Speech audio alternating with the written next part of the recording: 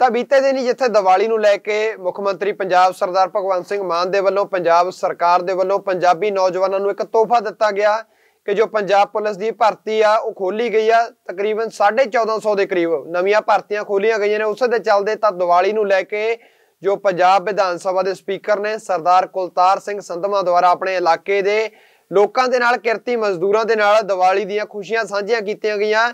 ਜੋ ਕਿਰਤੀ ਮਜ਼ਦੂਰ ਸੀ ਰੇੜੀਆਂ ਵਾਲੇ ਸੀ, ਜਿਨ੍ਹਾਂ ਦੁਆਰਾ ਦੁਕਾਨਾਂ ਲਾਈਆਂ ਗਈਆਂ ਸੀ, ਫਲ ਫਰੂਟਾਂ ਦੀਆਂ ਜਾਂ ਦੀਵਿਆਂ ਦੀਆਂ ਦੁਕਾਨਾਂ ਲਾਈਆਂ ਗਈਆਂ ਸੀ, ਉਹਨਾਂ ਨੂੰ ਕੰਬਲ ਵੰਡੇ ਗਏ, ਜੋ ਮਠਿਆਈਆਂ ਦੇ ਡੱਬੇ ਵੰਡੇ ਗਏ। ਤਾਂ ਤੁਹਾਨੂੰ ਦੱਸ ਦਈਏ ਕਿ ਵਿਧਾਨ ਸਭਾ ਦੇ ਸਪੀਕਰ ਕੁਲਤਾਰ ਸਿੰਘ ਸੰਧਵਾ ਦੁਆਰਾ ਆਪਣੇ ਇਲਾਕੇ ਦੇ ਰੇੜੀ ਵਾਲਿਆਂ ਦੇ ਨਾਲ, ਦੁਕਾਨਦਾਰਾਂ ਦੇ ਨਾਲ ਦੀਵਾਲੀ ਦੀਆਂ ਖੁਸ਼ੀਆਂ ਸਾਂਝੀਆਂ ਕੀਤੀਆਂ ਗਈਆਂ।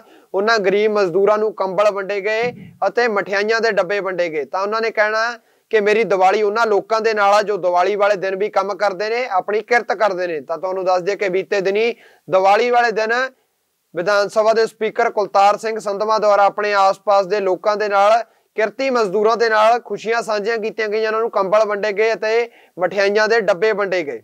ਦੇਖੋ ਜੀ, ਬੰਦੀ ਛੋੜ ਦਿਵਸ ਦੀਵਾਲੀ ਖੁਸ਼ੀਆਂ ਦਾ ਤਿਉਹਾਰ ਹੈ।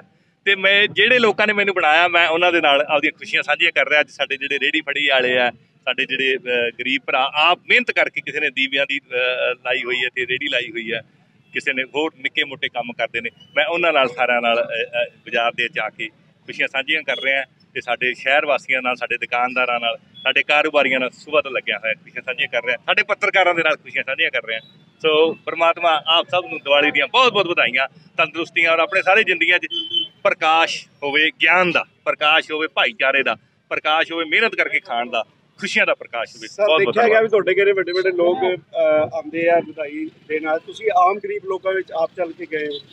ਇਨਹੀ ਕੀ ਕਿਰਪਾ ਤੇ ਸਜੇ ਹਮ ਹੈ ਨਹੀਂ ਮੋਹ ਸੇ ਗਰੀਬ ਕਰੋੜ ਪਰੇ।